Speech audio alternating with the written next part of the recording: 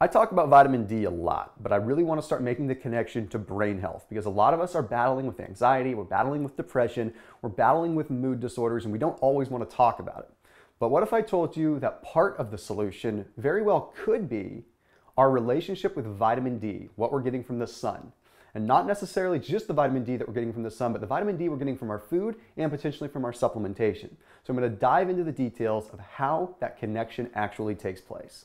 And according to the National Library of Medicine, we found that uh, about 40 to 50% of Americans are already deficient in vitamin D. So when you start thinking that vitamin D might be linked with mood disorders, well, then it's pretty evident that we need to be paying attention to it. Now, the Academy of Nutrition and Dietetics found that the link between vitamin D and our mood lies within the neurotransmitter serotonin. Now, that serotonin neurotransmitter is what's responsible for us having a sense of well being, for us feeling calm, cool, and collected. Quite the opposite of feeling anxious or potentially depressed. Well, I'm going to get into the intricate details of it in just a minute so you understand how serotonin works and so that you can make the connection. But what we have to remember first and foremost is that a lot of these ties are still widely unknown. This is a pretty new topic, pretty new investigations when it comes down to vitamin D and the brain. So let's take a look at serotonin really quick. Okay? It's the job of serotonin, again, to help us feel good. Now, the process of actually creating serotonin in the body is pretty interesting. You see, it comes down to something called tryptophan. And what tryptophan is, is an amino acid. And those amino acids are usually derived from proteins that we consume.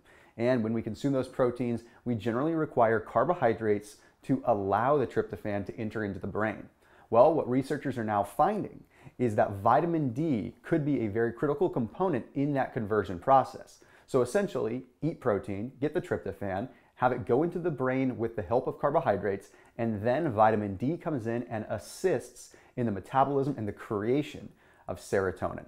So, right at the very root of creating this neurotransmitter that helps us feel good. Now, researchers are continuing to back up the fact that everything seems to be lying in what are called monoamines. Monoamines are a group of neurotransmitters, including serotonin, dopamine, and norepinephrine all three neurotransmitters that truly regulate how the brain operates when it comes to feeling good.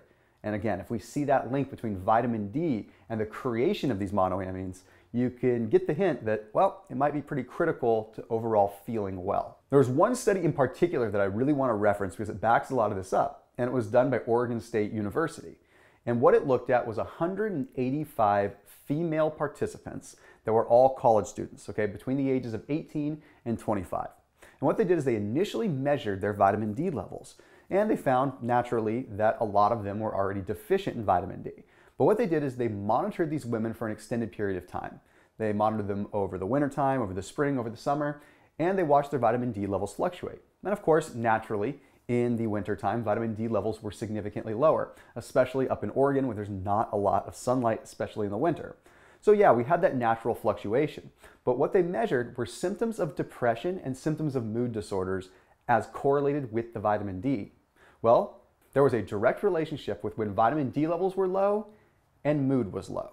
And this was substantiated throughout the course of the year and through multiple different angles of study.